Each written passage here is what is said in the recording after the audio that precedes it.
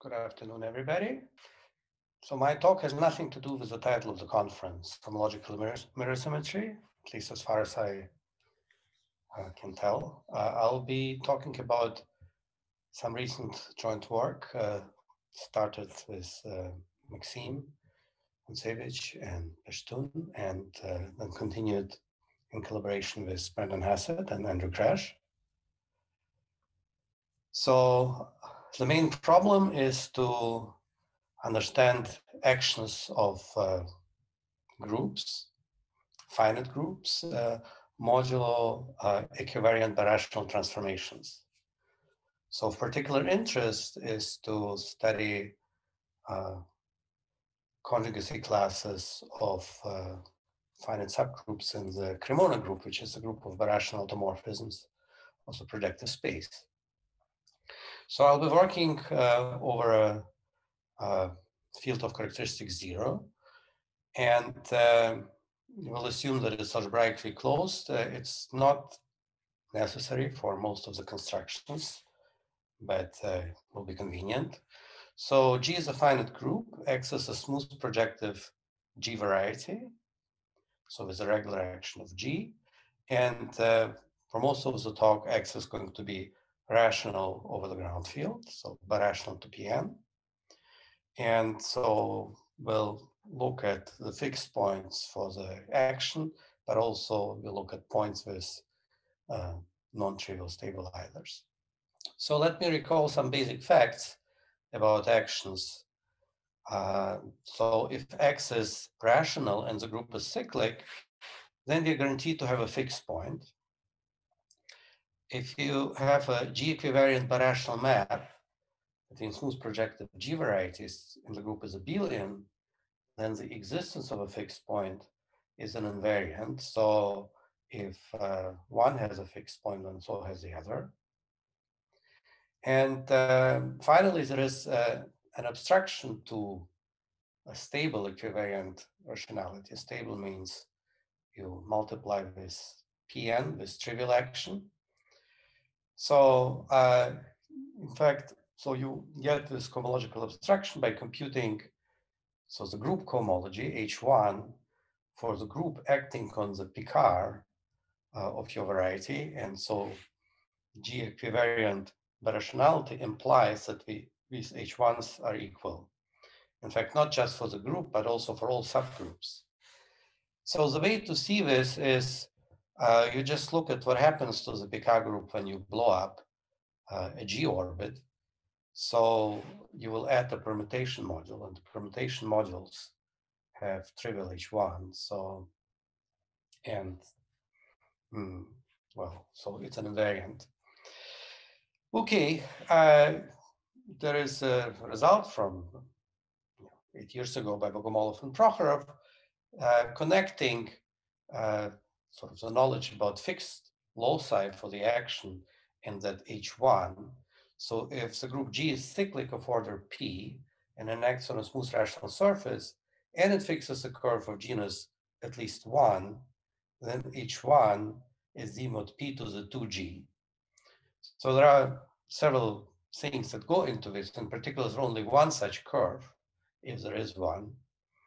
And um, well, of course, once you have such a curve on one equivariant model, it will persist, it will stay on every model after blowups, it's not going to go away. So this was generalized by uh, Shinder. Uh, slightly more general situation, the group G is still cyclic and it acts on, again, on a smooth rational surface, and now you assume that all stabilizers are either trivial or equal to the full group. It's sort of a technical assumption that I think should be replaced. Uh, in that case, uh, there is a formula for H1 generalizing the one above. So there is another uh, invariant for actions of abelian groups. So you look at two uh, d-dimensional faithful representations of an abelian group necessarily of rank less equal than d because they're faithful. And you look at the characters of G appearing in these representations. So then you can look at, so to speak, the determinant Uh, and uh, uh, it turns out that these actions are equivariantly birational, even only if the determinants are equal up to plus minus one. So again, the condition is only meaningful when the rank of the group is equal to the dimension of the representation. And so the standard example you should keep in mind is the action of the group Z mod 5 on P1, where you could have two possibilities. In one case, the weights at you know zero at infinity are sort of like uh, one and four, and in the other case, you know, two and three. And so they will be different, um, you know, based on this criterion. And in fact, the proof uh, here is uh, you know, generalizing this example of P1 with a Z mod 5 action. All right. So this is uh, what we have. In particular, if you have a cyclic uh, group acting on Pn for n at least two, then all those actions are uh, equivalently birational.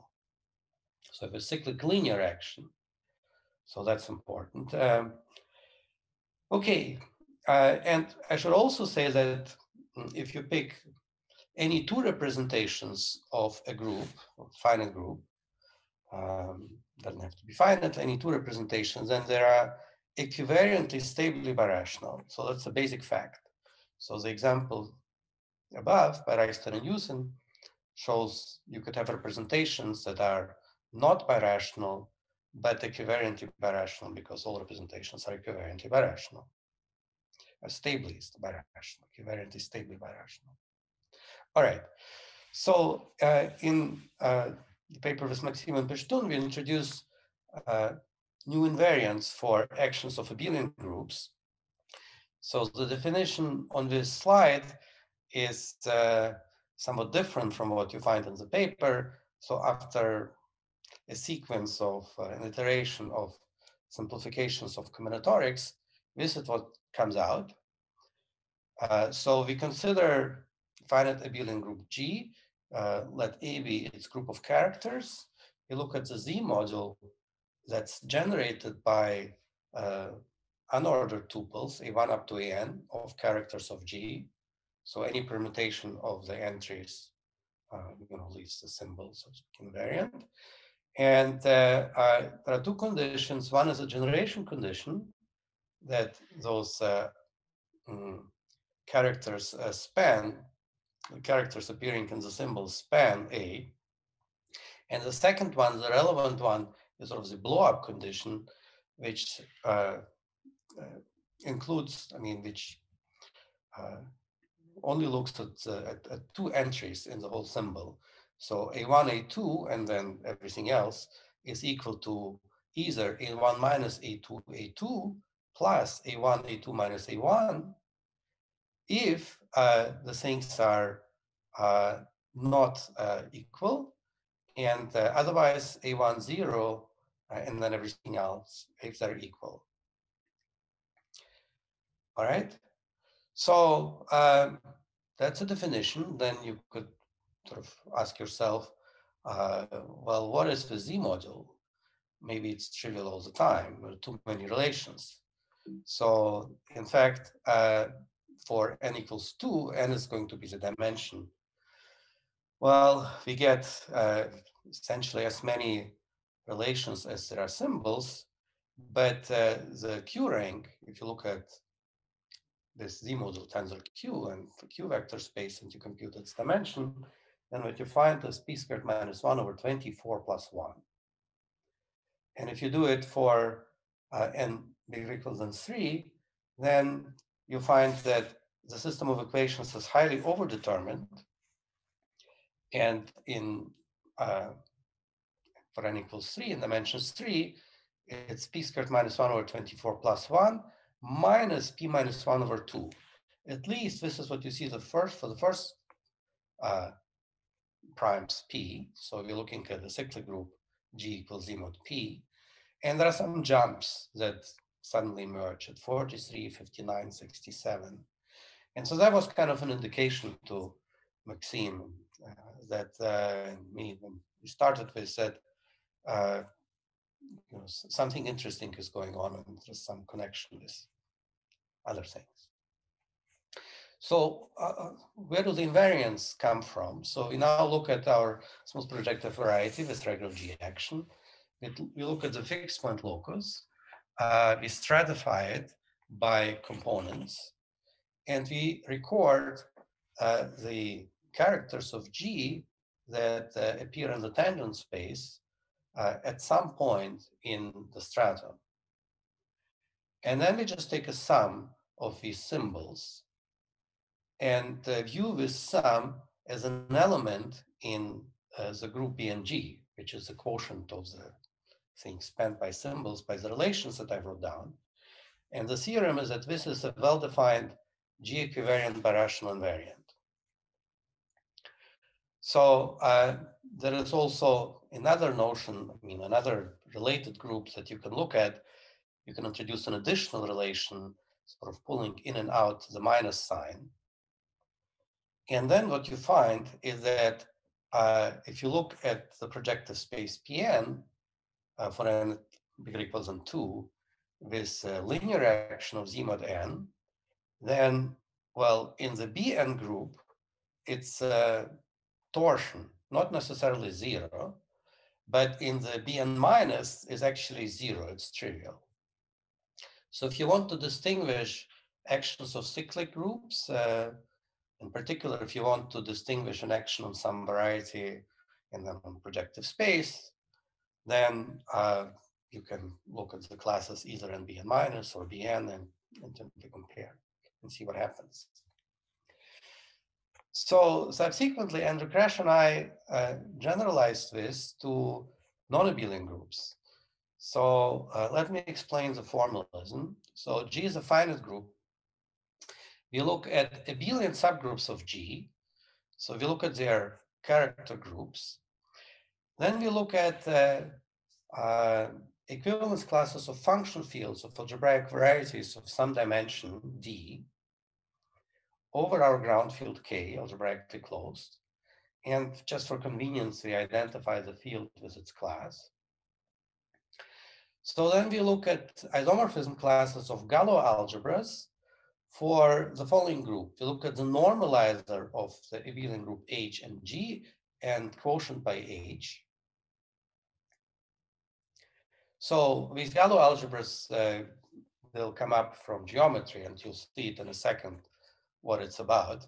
And there is some technical assumption on, on uh, sort of group cohomological assumption on, on these algebras is that uh, the map from H1 NGH K star to H1 HK star and variance to uh, the characters is surjective. So don't worry about this assumption. It will be satisfied automatically in nice situations. So the group that we introduce is generated as a Z module by symbols. The symbols have three entries. One entry is H, which is an abelian group in G. Uh, then N, which is, as before, normalizer of H and G divided by H, which is acting on some K, which is, you know, an algebra from before. And then beta is a sequence, uh, again, up to permutation of uh, characters of H generating the group of characters of H, and all non-zero. So uh, the sequence uh, beta there of characters determines a faithful representation of H over our field uh, of dimension n minus d uh, with trivial space of invariance. All right. So, well, these are symbols, uh, and then there are some relations. So the first two relations are kind of straightforward. Uh, so we have a conjugation action on everything inside. We can act by conjugation on abelian subgroups of G. And then, of course, you have a conjugation action on these representations, beta, beta prime. And then you have kind of a conjugated action on your algebra. And then there's a simple relation that if uh, you know a1 plus a2 is zero, again, A1, A2 are sort of two entries, uh, then that symbol is, is zero. The interesting relation, the interesting blow-up relation comes here. So uh, this uh, symbol is going to be equal to a sum of two terms, where the first term, uh, well, under the special condition A1 equals A2, the first is zero. And if A1 is not equal to A2, then it's a sum of two things. And the things are essentially the same, except the weights beta change. And they change precisely in the same fashion as before when we looked at uh, abelian groups and those blow-up relations in the group B and G. So it's A1, A2 minus A1, and then everything else, and A1 minus A2, A2, and then everything else. Now, the interesting part is uh, the second entry, which is again zero if AI is in the subgroup uh, generated by the difference of the characters, A1 minus A2. And otherwise, it's something else. And uh, something else, there is a potentially different group. So if A1 minus A2 is sort of a non-trivial subgroup in the characters, quotient, you get a non, you get some, some group H bar check. And there is a beta bar, which is the one less character in it. And there is some action, there is some N bar and K bar and so on. So uh, the way to digest this is to uh, sort of think of this in the simplest possible case, the model case, namely, you're blowing up an isolated point with the abelian stabilizer on a surface. And so when you do this, uh, on the exceptional divisor, the line P1, you have two fixed points, and the first term records, so to speak, the what's happening at the two fixed points for the action. It's this this contribution here. And uh, the second uh, term, well, this is the action on the exceptional uh, divisor on the line itself. So you see some stabilizer for that, that's H bar, and then you have an action sort of on, on the generic point of, of that line. So, uh, and it turned out that as before, in the case of BNG, after a lot of combinatorics, the model case gives actually all relations. Uh, now remember, so we are blowing up orbits, we are blowing up, you know, this and the other, so the combinatorics is quite involved. And so how do we compute the class of an action of a projective variety with a regular G action? Well, we pass to a standard model. So what is the standard model? Well, after performing equivariant blowups, you can assume that X is smooth projective uh, on some Zariski open GX freely. The complement is normal crossings. And here comes the important condition that for every component of the complement and every element G of G, so either the element acts in the component, preserves the component, or when it translates a component, that the intersection with the component is trivial. So what this is excluding is the picture you should have in mind is on A2, you have the two coordinate lines crossing in zero, and you have an involution which exchanges the two uh, coordinate lines. So that's not a good action. You need to blow up the origin, right? Because you want to eliminate the intersection point. So uh, Reichstein and Youssin introduced this notion and uh, uh, shows that you can um, blow up equivariantly to get to a standard model.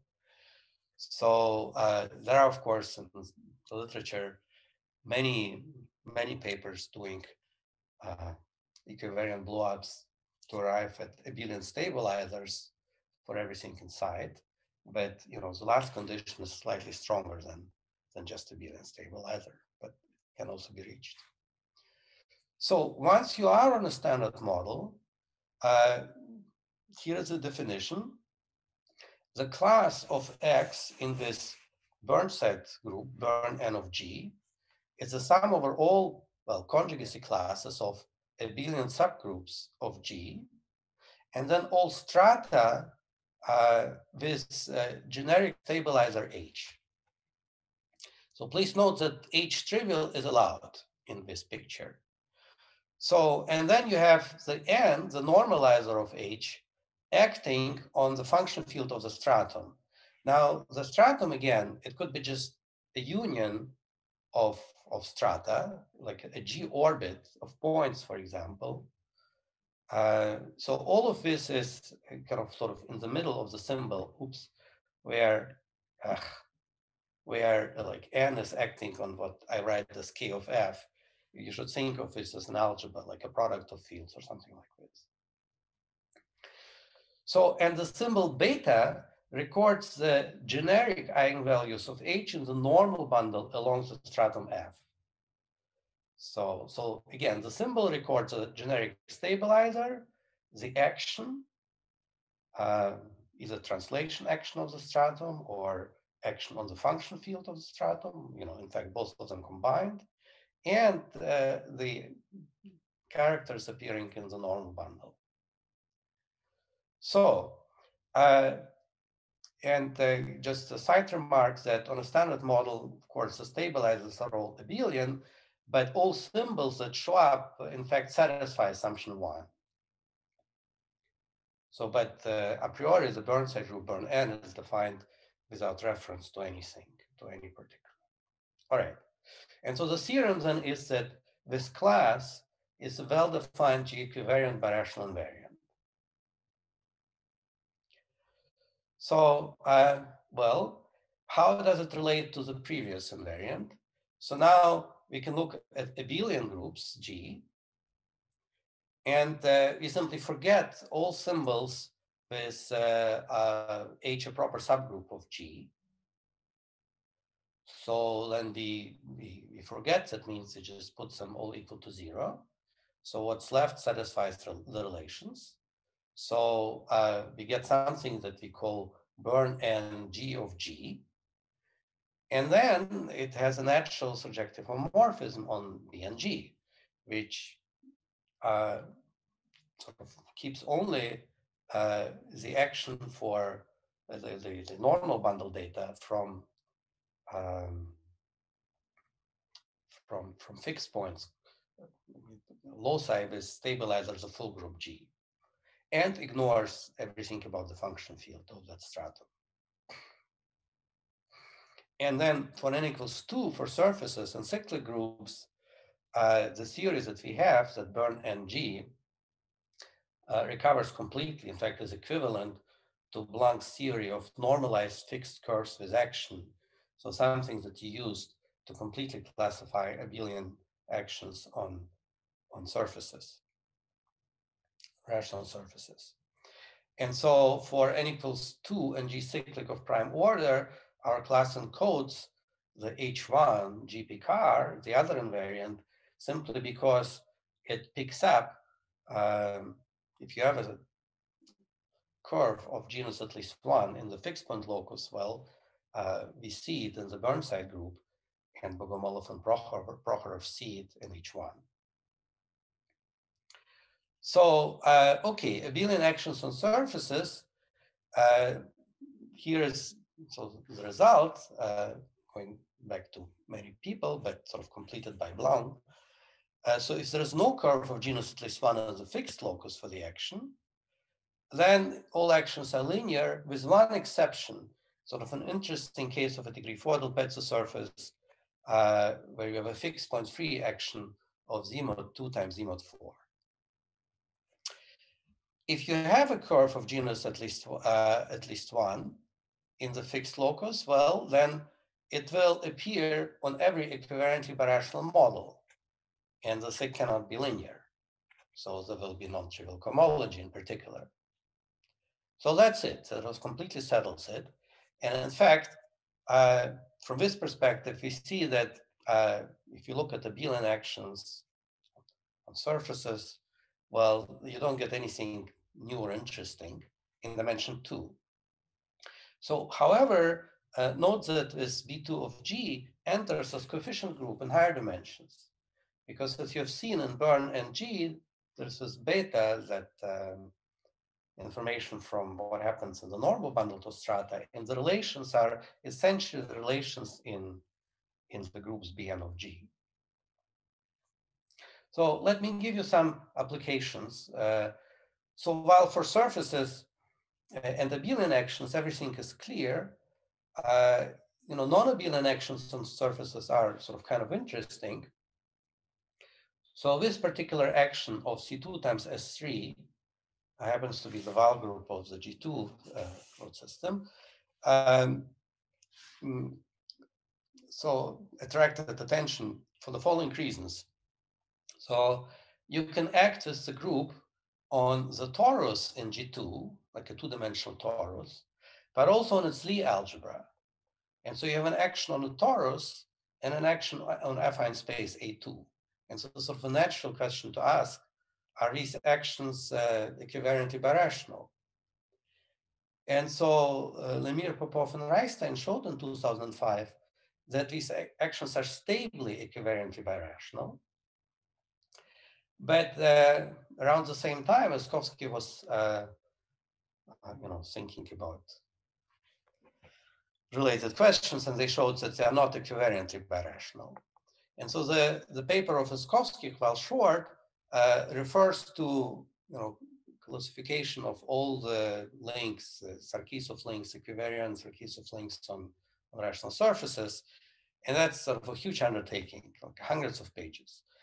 And uh, of course, it culminated in the like, classification of all finite subgroups of the two-dimensional Cremona group by uh, Dolgachev and Iskovskikh with you know, subsequent um, contributions by, by others, uh, by Prokhorov and, and, and, and, others. So anyway, so non-abelian actions are kind of interesting on surfaces already. And so um, the approach, basic sort of approach by Iskovskikh is, well, uh, you, simple, you use the minimal model program heavily, and then you classify everything inside and then you apply it to you know the concrete actions that you have in front of you. So uh, I want to show how our new invariants work in this situation. So the actions can be realized on a torus. Uh, well, the torus, you look at you know product of three variables equals to one. That's your torus, and then you can act as S3 by permuting variables, and with this C2 by taking inverses of the variables. And you can realize this on a model, the del Pezzo surface of degree six. So that's your S2 times S3 action, C2 times S3 action. Now on the uh, on on P sort of on P2, uh, you you act on you know x1 plus x2 plus x3 equals zero via permutation traversing signs, and so your model P2. So uh, that's uh, uh, affine uh, affine space. This is what you get. So uh, all right. So what is it on P2? On P2, you have like a two-dimensional representation of S3, and the trivial representation you projectivize. So I wrote down some matrices. So there is one fixed point, and then there is a line at infinity. So if you blow up the fixed point, you find that the exceptional curve has stabilizer C2, and uh, you have an S3 acting uh, in uh, sort of on, on the line P1. And you also have uh, another line at infinity, which is a projectivization of this two-dimensional representation. And again, because the central uh, uh, C2 uh, acts with, uh, well, I guess, minus one, minus one on that line. So when you projectivize it acts trivially, so you have two contributors to the class X and G, this generic stabilizer C2 and an S3 action on P1. And of course, uh, since uh, C2, I mean, it has to act in the normal bundle and you know, it's non-trivial character one. So anyway, the outcome is uh, on a standard model, you get two lines, the stabilizer C2. And there are other terms, of course. Now, a better model for the second action is actually the quadric. So in this uh, model, the S3 permutes the coordinates uh, on the left side, and the C2 acts as plus minus one on the W. And so when you look at the fixed, uh, at, at strata with stabilizer central C2, you're just finding this conic.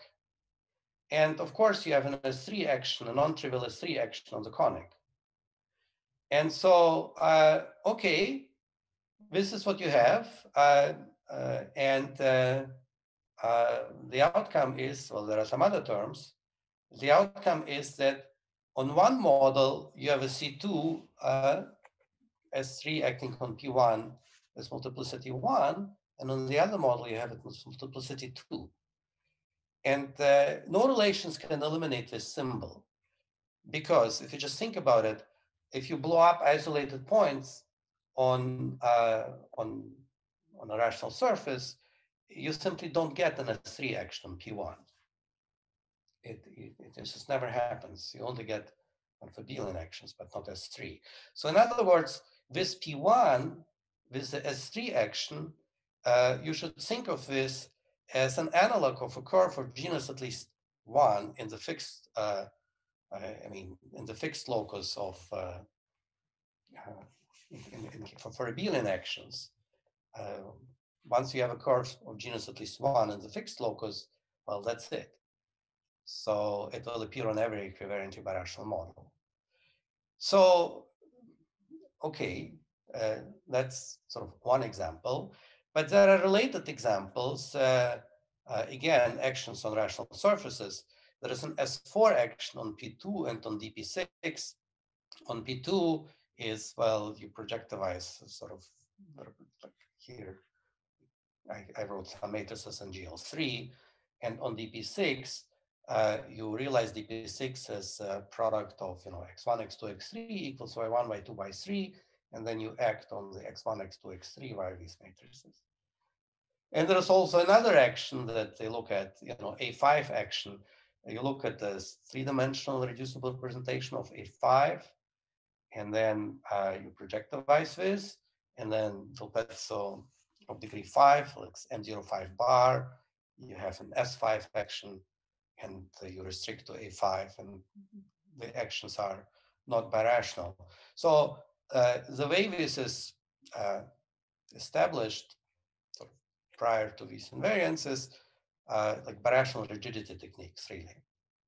So uh, I checked it. I mean, our invariants, you know, seem to distinguish these things, but need to write it down cleanly, but it works. So in one case, you have like 15 lines, this Z mod 2 stabilizer and uh, non-trivial Z mod 2 action on them. And in another case, you know, we have you know points with Z2 plus Z2 stabilizers and lines with Z2 stabilizers. So uh, anyway, you you can apply. I, mean, it's kind of in each case, you have to extract the right piece uh, from, from that invariant, uh, um, but you do it carefully and it works. Now, let's go to higher dimensions. In dimension three, uh, you don't have a classification of abelian actions, but in principle, given all we know about you know, minimal model program and uh, very extensive classification results, abelian actions should be in principle accessible. So I'll talk about examples in dimension four, where you know all bets are off. We don't have uh, you know any systematic approaches to factoring birational maps. We are still you know not understanding rationality of cubic fourfolds, even though yesterday we heard about spectacular progress in this direction and so on. So let me uh, give you this example. It's a cubic fourfold that happens to be rational because it contains two disjoint planes. I've never done the equations for those planes. And I look at the action of Z mod 6 uh, with these particular weights. So, uh, okay, uh, let's, uh, you know, how do we uh, read this? Um, well, well, anyway, so you act Now, um, um, the uh, if you look at the you know non-trivial stabilizers, so uh, there is a cubic surface. There's a ZMOD 3 stabilizer in this.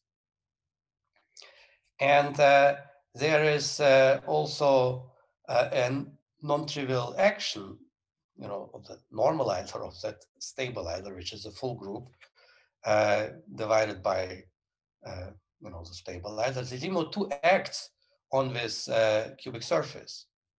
And as I mentioned before, if you have a rational surface, like a cubic surface, and you have an action of a cyclic group that fixes a curve of genus at least one, then that surface is not stably uh, uh, equivariantly rational. So there is nothing you can do uh, to make it go away, uh, so to speak, performing equivariant blow ups and blow downs.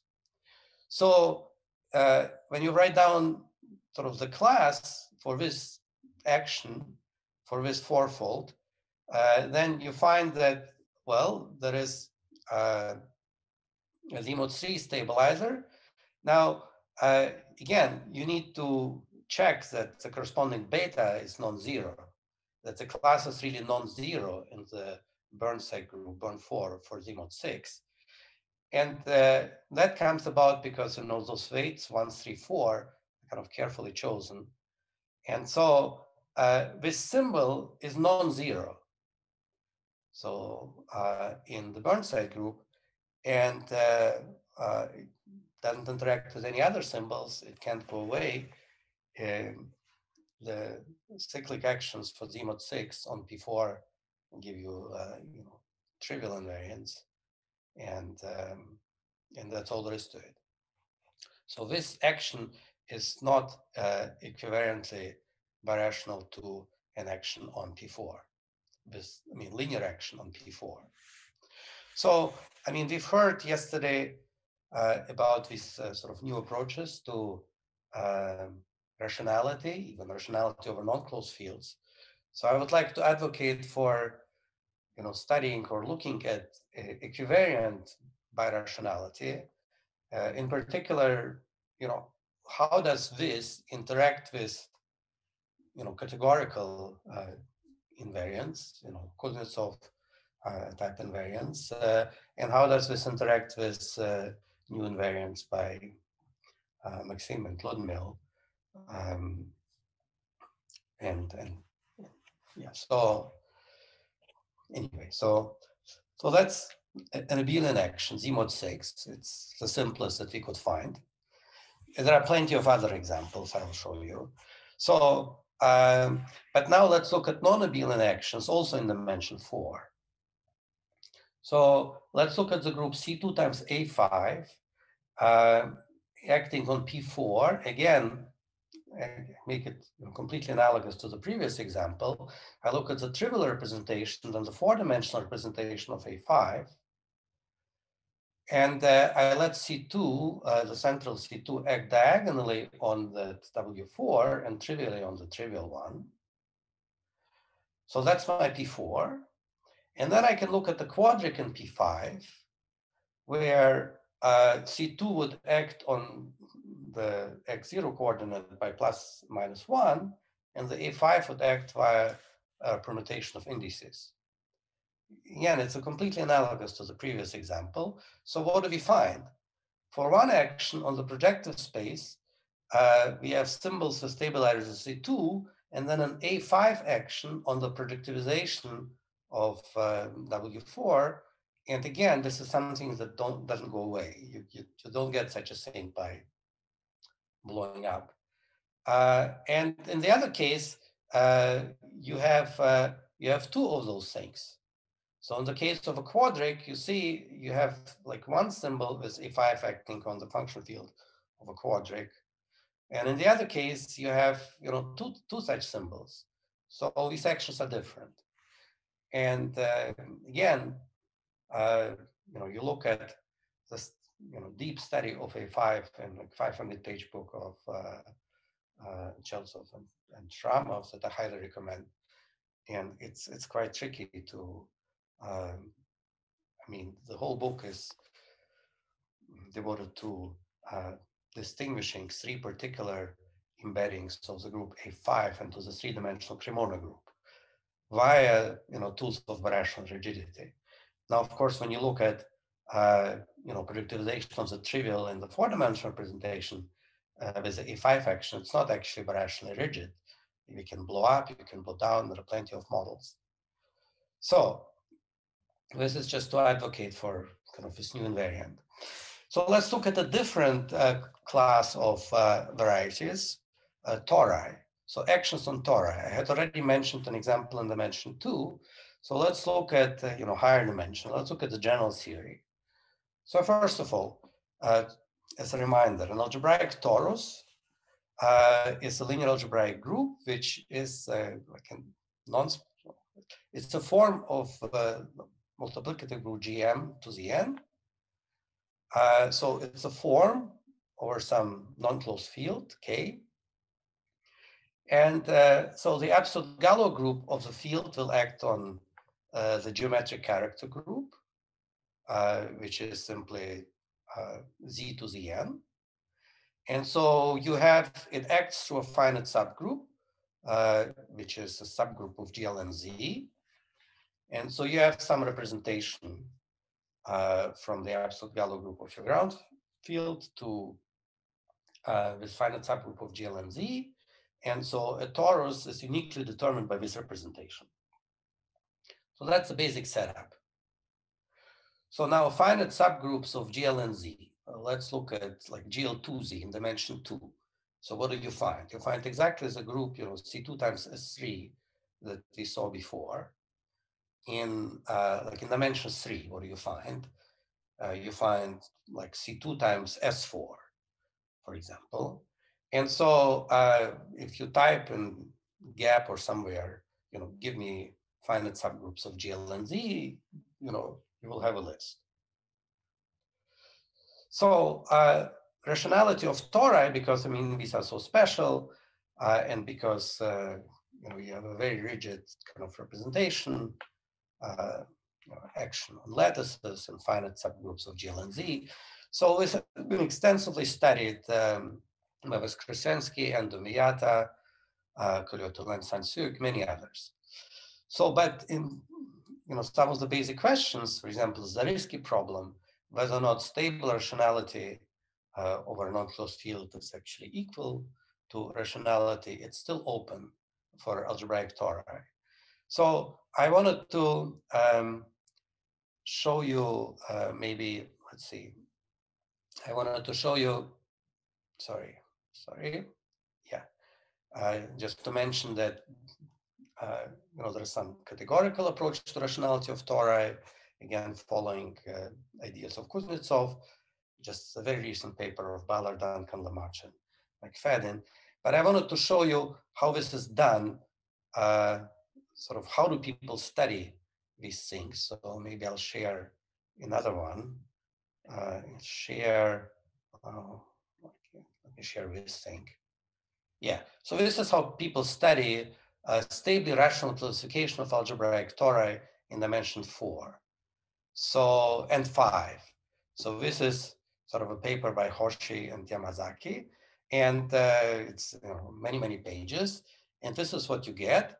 So you dial some gap ID. So four is the dimension four, and then all the groups are labeled. And then uh, you see what you can have, you know, C2 times C3 squared and so on and so on. So it's it's this. Yeah, I want, I'm doing this on purpose so that you can see, uh, you know, this is dimension four and five. Now, uh, in particular, let me share screen one more time. Um, so just to summarize what happens in dimension four, this is a recent paper of uh, Lemire. So there are 10 conjugacy classes of subgroups uh, which are not conjugate to whatever. The rationality of the corresponding algebraic tori is hence unknown. So for the following uh, groups, these are gap IDs. I'll, I'll show you the groups on the next slide. You know, there's a list of groups for which stable rationality has been proved, has been established, but rationality is unknown. Okay, so let me go back to the slides. So here are the slides.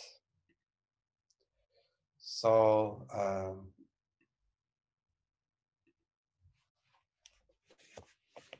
okay, now the cohomological obstruction to stable rationality comes from a basic exact sequence of Galois modules. So you look at the projective compactification of your torus, equivariant compactification. So the boundary, um, a union of divisors. Uh, Galois theoretically, uh, you look at uh, sort of, uh, the geometric components. Uh, the Galois group uh, acts on, you know, the Z module spanned by the geometric components. It, it's going to be a sum of permutation modules. So the middle thing, which is uh, in the toric language, PL of sigma, it's a abelian group spanned by boundary components, geometric boundary components. Uh, then there is a Picard, and then there is M. Now, uh, over algebraic closure, this is exact. Over a non-closed field, uh, you look at the invariance. Uh, you have you know, mg going to this permutation model, invariance g going to Picard, going to h1. So what you see on the right, the h1, uh, uh, well, is is you know some kind of an obstruction. So h1 g with coefficients in Picard, as we've seen, is an obstruction to stable rationality. So when you work on unclosed fields, this is an obstruction. So the examples, of course, of interest are where all these cohomological obstructions vanish. In fact, where all the modules uh, in, in, in question are uh, sort of stable permutation modules. So you add the permutation module and you get the permutation module. All right, so, so that's a picture. And uh, so here have an obstruction to stable K rationality. So H1 of G in fact, all subgroups of G. And uh, so Kunyavskii showed that in dimension up to three, this is the only obstruction. So how did he do this? Well, uh, as I mentioned, all the subgroups of GL3Z are known. And then uh, what Kunyavskii showed, essentially by classification, either uh, your thing is rational, or there is a non-trivial H1, so it's not stably rational. And so there are simply no cases of potentially, well, stably rational, but you know, potentially non-rational. It doesn't happen in dimension three. Now, in dimension uh, four, you know, here I'm, you know, citing what I showed you in that paper. There are 10 conjugacy classes of subgroups of these two groups. So C2 times A5 and C2 times S4, their stable rationality is known, but rationality is not known. So uh, therefore, uh, so I'm kind of motivated to you know show you an example of applications for let's say C2 times A5. Okay, so what's the action? Well, it's a subgroup in GL4Z. And uh, well, uh, you can write down matrices, but essentially it's sort of an action of A5 in, in the four-dimensional representation of A5. Uh, uh okay. And then the there is an action of uh, C2, which uh, if you write it sort of in matrices, it's like minus one, minus one, minus one. But now if you remember that you are actually on a four-dimensional uh, torus, then um, uh, it's, uh, you know, T goes to one over T. So that's the action of the central C2. So a good way to compactify this equivariantly is to look at, you know, P1 to the 5 and uh, hypersurface given by, you know, uh, this equal to this, which is a complete ana analogy to what we saw before for DP6.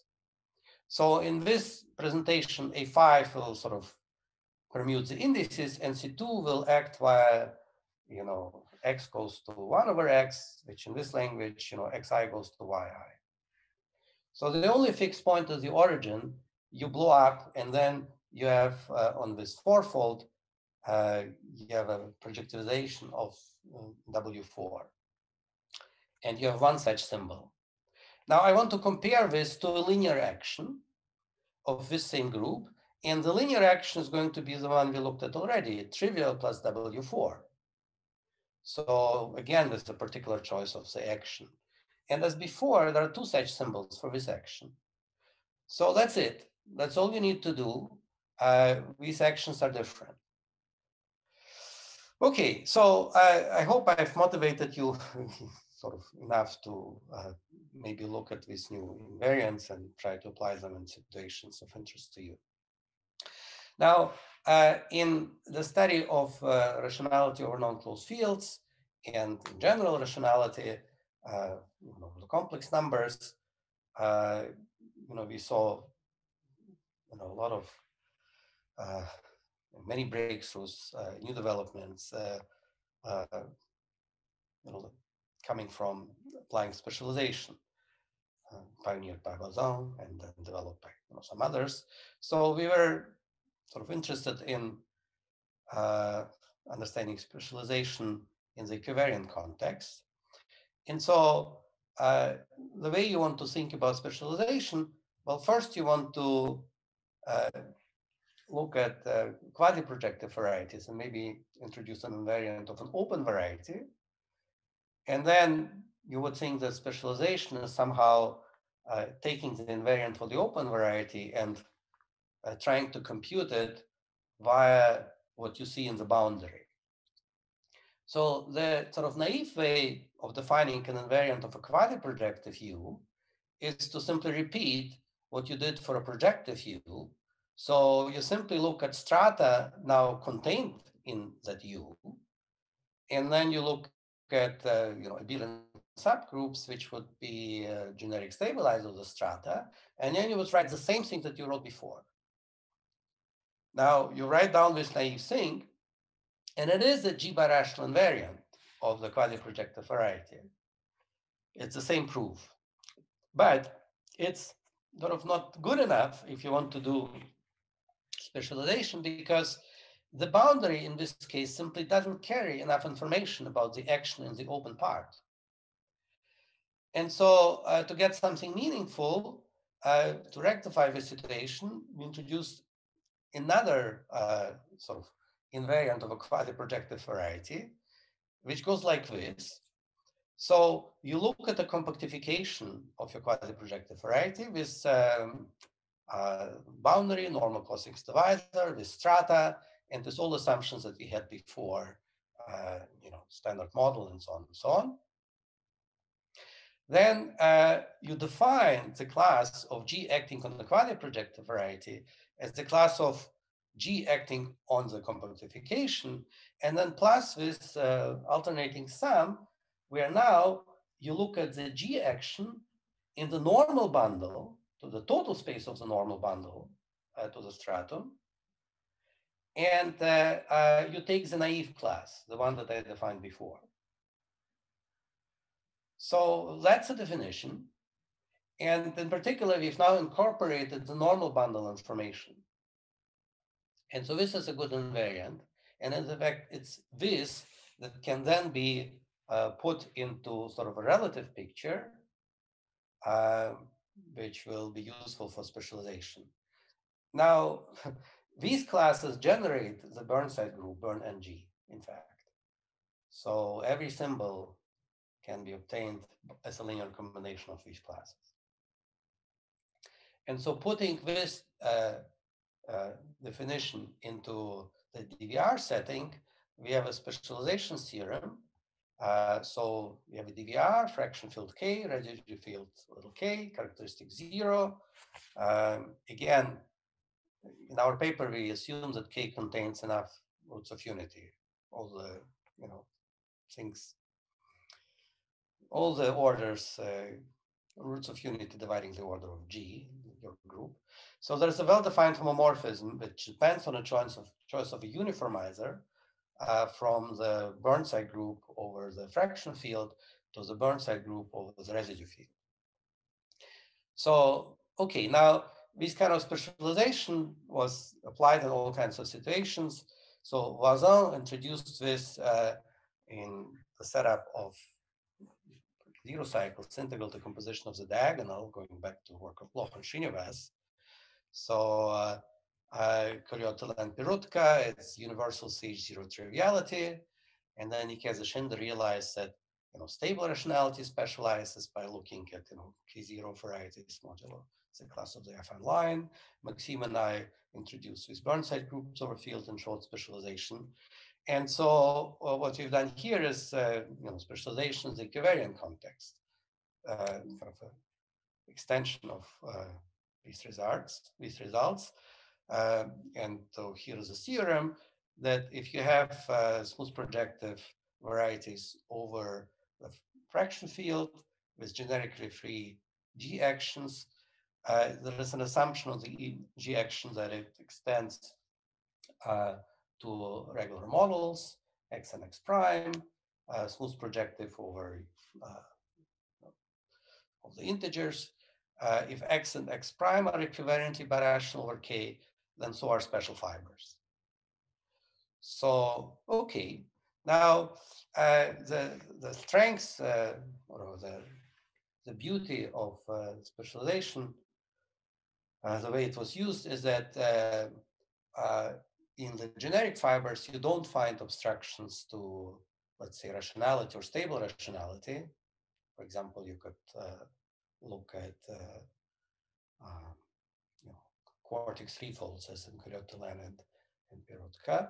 Uh, but you find such obstructions in the special fiber uh, if the special fiber requires singularities.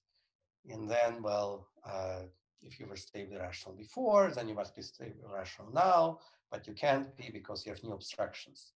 And so, but it's essential in this game to allow mild singularities.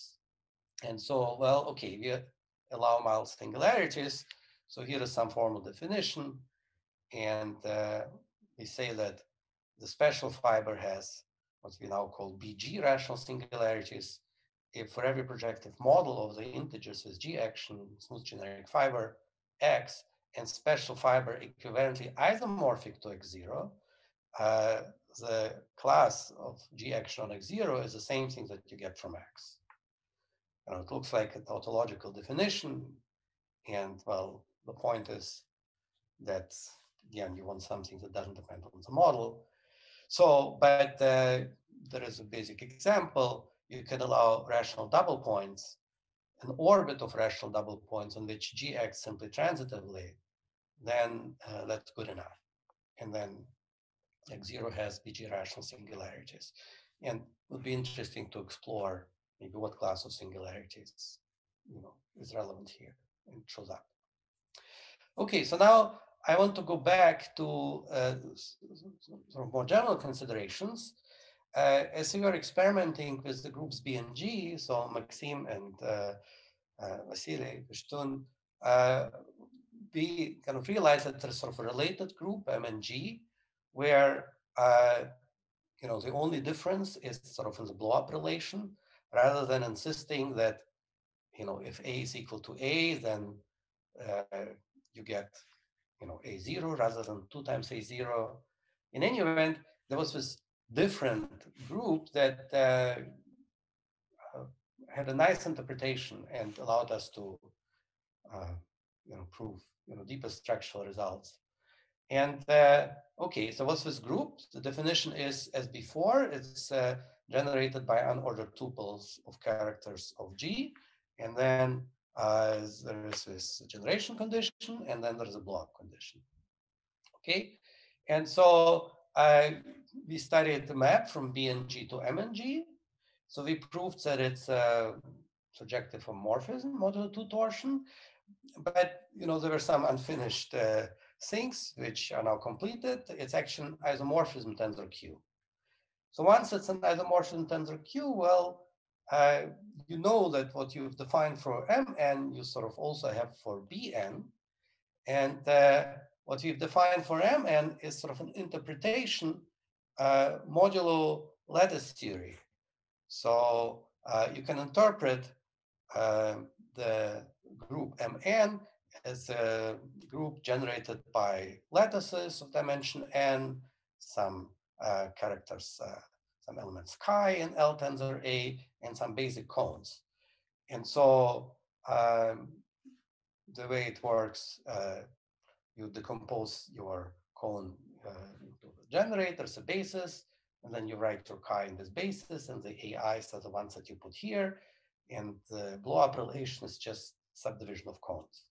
And so I wanted to say in the last minute that so with representation of MN via um, you know lattices, uh, cones, and uh, subdivision, like the composition of cones into subcones, it holds in uh, the other setup as well.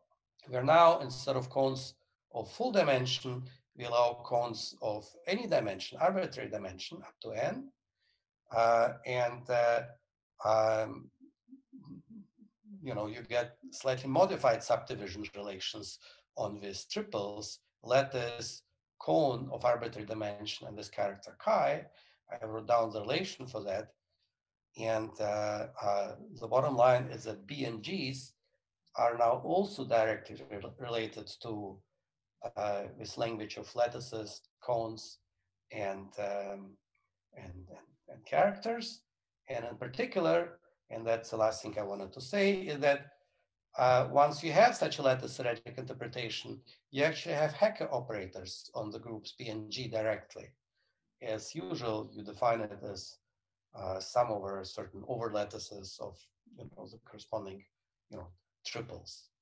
So uh, the therefore uh, you see that kind of in the abelian case, the birational invariants, uh, groups capturing birational invariants are uh, connected to, as we show in the paper, with Maxim Pestun automorphic forms.